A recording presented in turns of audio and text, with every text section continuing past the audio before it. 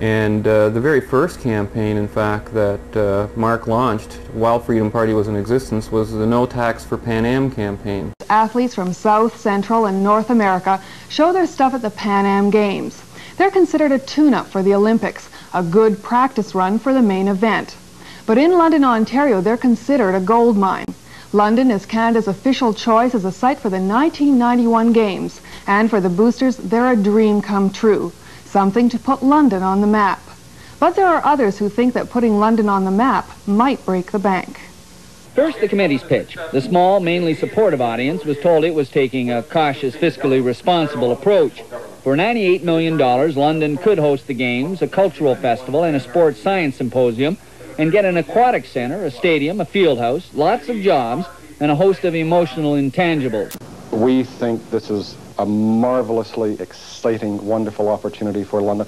I think it's, it's the, the staging of a whole new era of development for our city. Gordon Hume sells a sizzle of the Pan Am Games. Today's audience is the London Chamber of Commerce, and they like his pitch. Hume is chairman of the bid committee, the group trying to bring the games to London. Hume also has a little fun speculating on the challenge that may come from Havana, Cuba. I have this vision down there Fidel Castro and I dressed in green fatigues having a, a, a smoke off down there. Gordon Hume is a man who usually wins. Four years ago, he took London by storm and has turned CKSL into the city's number one radio station. I have always been appalled by the sense and the satisfaction with mediocrity that permeates some of Canadian society. I have never been one to accept that. Hume and the bid committee want 10 million from the city for the games, but the big money must come from Ottawa and Queen's Park. $60 million in government lottery money. This used bookstore in downtown London is a hotbed of Pan Am descent. It belongs to Marc Emery, a local crusader who's at the thick of most controversies. He's also spent about $12,000 printing his own newspaper. Basically, it's just sort of, you might say a manifesto of the things I believe in, but it, it dealt with a lot of issues, hate literature, abortion, uh, pensions, anything controversial is in here. Now Marc Emery wants to bring his talents to a fight with Gordon Hume and the forces of progress. With us today on my left is Marc Emery, and beside Marc is Bob Metz. Marc, what is your campaign all about? Stan, what we're doing, uh, a number of volunteers from the various areas of the city and myself uh, are delivering this brochure to all the homes in the city, 68,000 homes pretty well. That's pretty well every taxpayer and a good proportion of the entire population. This brochure outlines our various objections, not to the games themselves, but to the use of tax money for the games and the facilities that come with the games.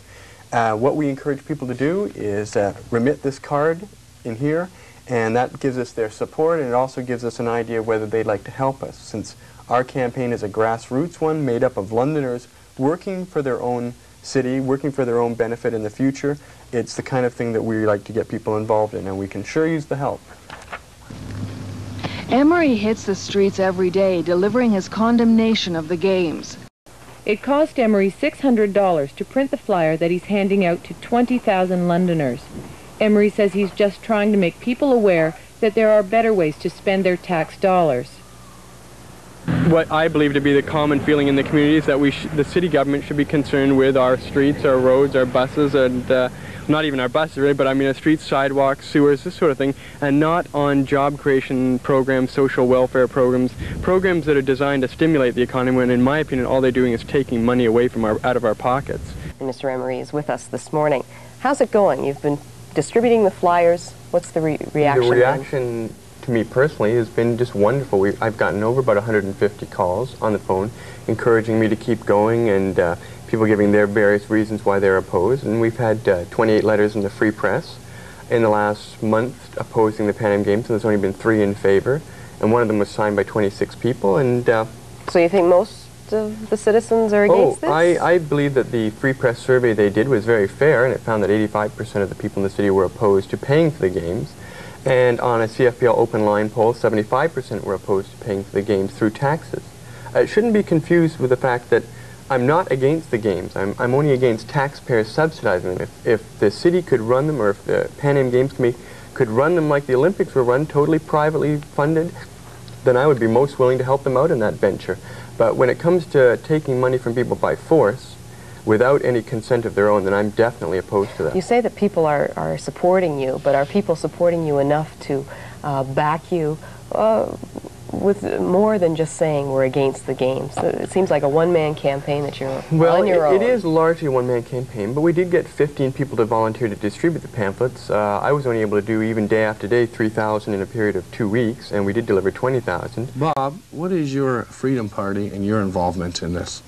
Well, I'm president of the Freedom Party of Ontario, which is a fully registered political party of the province of Ontario. And as president of a Freedom of Choice party, naturally I'm interested in, in the taxpayer having the greatest degree of choice possible in determining where his tax dollar will be put.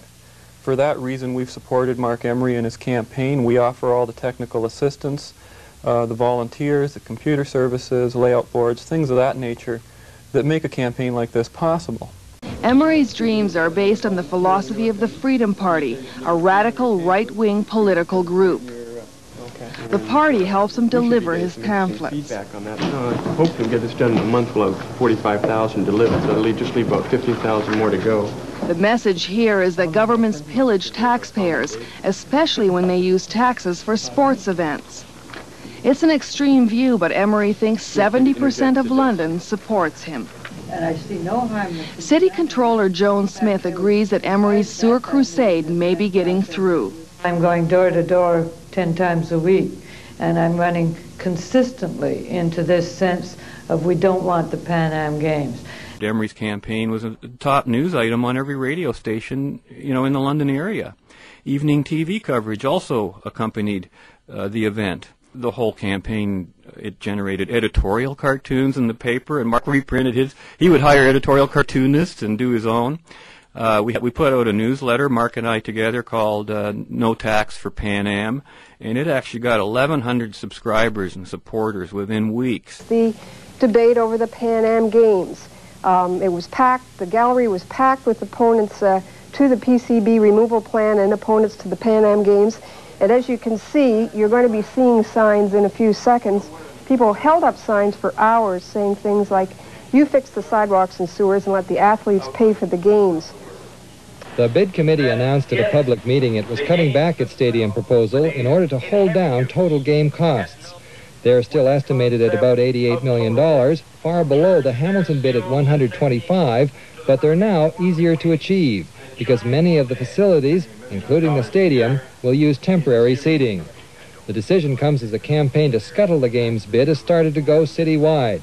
Thousands of leaflets have been distributed by more than 20 volunteers who've received hundreds of dollars in donations.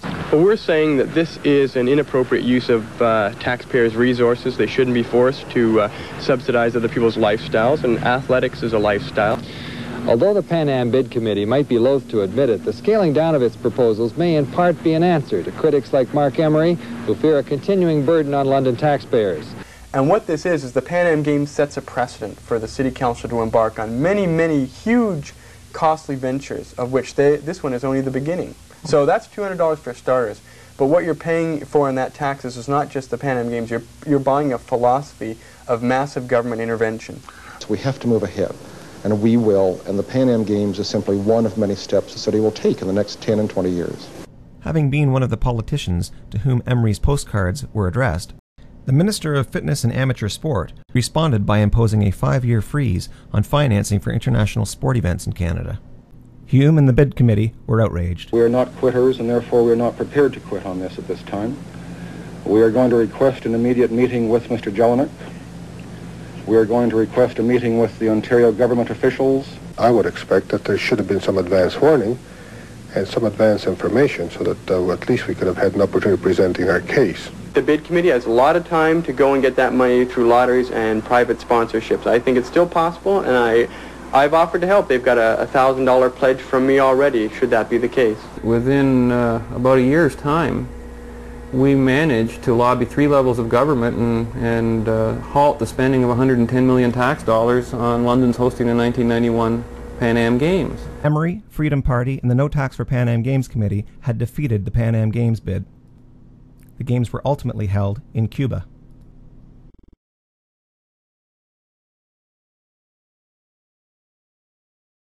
In fact, there were a lot of issues that Marc uh, really was working hard to gain the confidence of, I guess you could say, the electorate.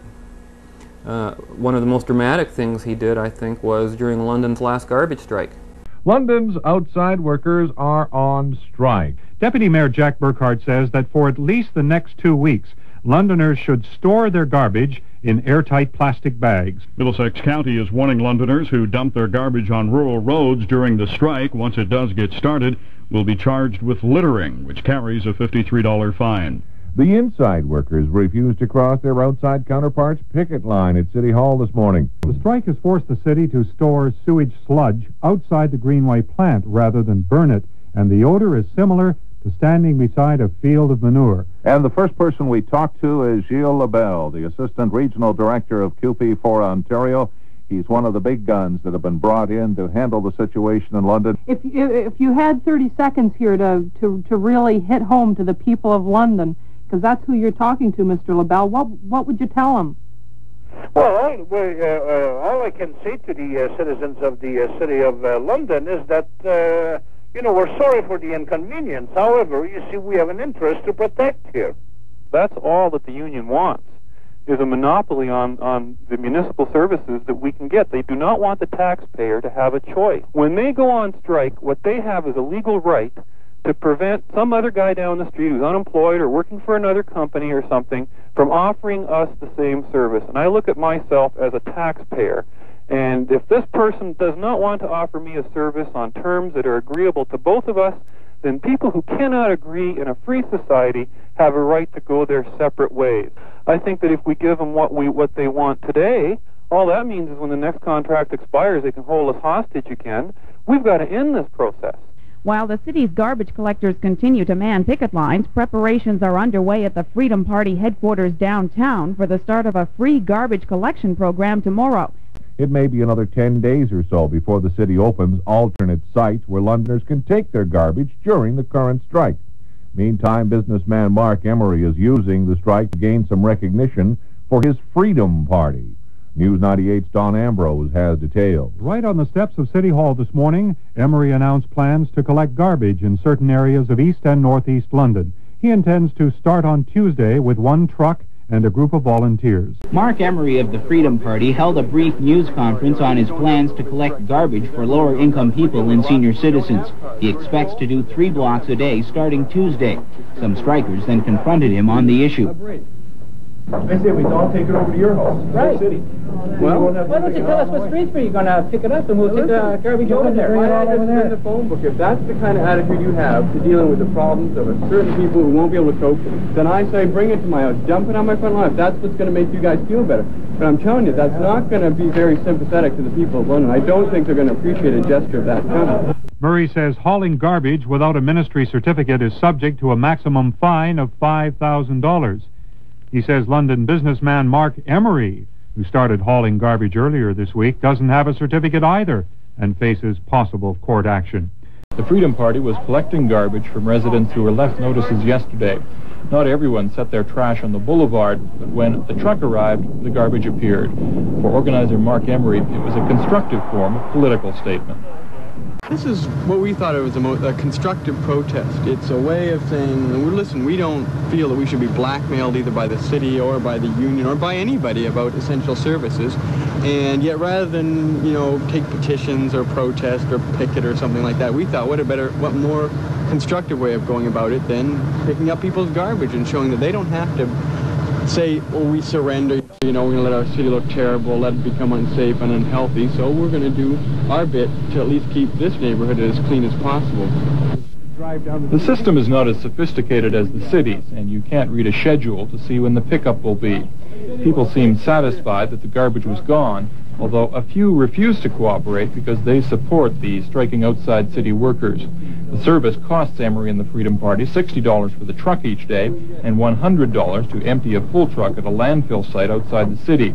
But Emery says the cost is worth it in order to make a point.